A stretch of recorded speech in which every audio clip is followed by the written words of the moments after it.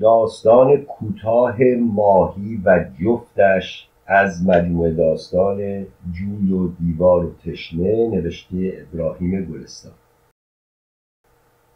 بعد به ماهی ها نگاه می کرد ماهی ها پشت شیشه آرام و آویزان بودند. پشت شیشه برایشان از تخت سنگ ها آبگیری ساخته بودند که بزرگ بود و دیوارش دور می‌شد و دوریش در نیمه تاریکی می‌رفت. دیواره روبروی مرد از شیشه بود. در نیمه تاریکی راهرو قارمانند در هر دو سو از این دیواره ها بود که هر کدام آبگیری بودند نمایشگاه ماهی های جور به جور و رنگارنگ. هر آبگیر را نوری از بالا روشن می‌کرد. نور دیده نمی‌شد اما اثرش روشنایی آبگیر بود و مرد اکنون نشسته بود و به ماهی ها در روشنایی سرد و ساکت نگاه می‌کرد. ماهی ها پشت شیشه آرام و آویزان بودند. انگار پرنده بودند. بی پر زدن انگار در هوا بودند. اگر گاهی حبابی بالا نمی‌رفت آب بودن فضایشان حس نمی‌شد. حباب و همچنین حرکت کم و کند پره هایشان مرد در ته دور روبرو دو ماهی را دید که با هم بودند. دو ماهی بزرگ نبودند با هم بودند. اکنون سرهایشان کنار هم بود و دمهایشان از هم جدا. دور بودند. ناگهان جنبیدند و رو به بالا رفتند و میان راه چرخیدند و دوباره سرازیر شدند و باز کنار هم ماندند. انگار می‌خواستند یکدیگر را ببوسند اما باز با هم از هم جدا شدند و لولیدند و رفتند و آمدند. مرد نشست. اندیشید هرگز این همه یکدمی ندیده بوده است. هر ماهی برای خویش شنا می کند و گشت و گذار ساده خود را دارد. در آبگیرهای دیگر و بیرون از آبگیرها در دنیا در بیشه در کوچه ماهی و مرغ و آدم را دیده بود و در آسمان ستاره ها را دیده بود که می گشتند می رفتند اما هرگز نه این همه هماهنگ. در پاییز برگ ها با هم نمی ریزند و سبزه های نوروزی روی کوزه ها با هم نرستند و چشمک ستاره ها این همه با هم نبود. اما باران شاید باران شاید رشته های ریزان با هم باریدند و شاید بخار از روی دریا به یک نفس برخاست.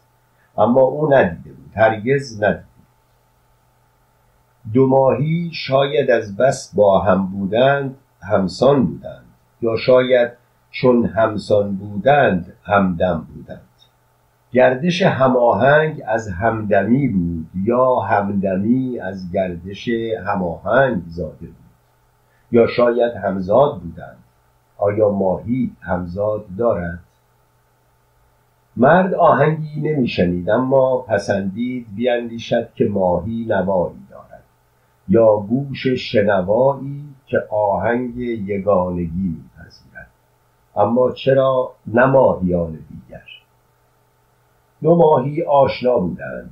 دو ماهی زندگی در آبگیر تنگ را با رقص موزونی مزین کرده بودند. اما چگونه همچنان خواهند رقصید؟ از اینجا تا کجا خواهند رقصید؟ یک پیرزن که دست کودکی را گرفته بود آمد و پیش آبگیر به تماشا ایستاد و پیش دید مرد را گرفت. زن با انگشت ماهی ها را به کودک نشان می‌داد. مرد برخاست و سوی آبگیر رفت. ماهی ها زیبا بودند و رفتارشان آزاد و نرم بود و آبگیر خوش روشنایی بود و همه چیز سکون سبکی داشت. زن با انگشت ماهی ها را به کودک نشان می‌داد. بعد خواست کودک را بلند کند تا او بهتر ببیند. زورش نرسید.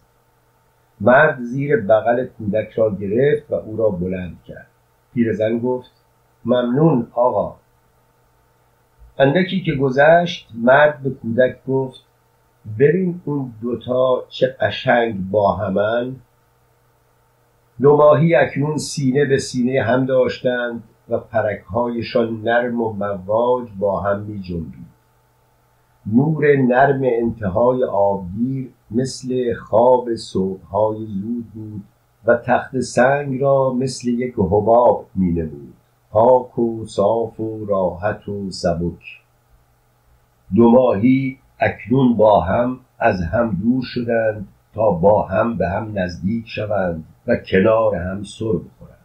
مرد به کودک گفت ببین اون دوتا چه قشنگ با همن. کودک اندکی بعد پرسید کدوم دوتا مرد گفت اون دوتا اون دوتا رو میگم. اون دوتا رو ببین. و با انگشت به دیواره شیشهای آبگیر زد.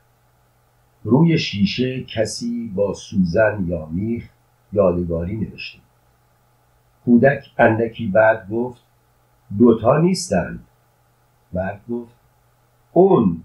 آ آ اون اون دوتا. کودک گفت همونا دوتا نیستن. یکیش عکسه که تو شیشه اونوری افتاده. مرد اندکی بعد کودک را به زمین گذاشت. آنگاه رفت به تماشای آبگیرهای دیگر. مرداد 1341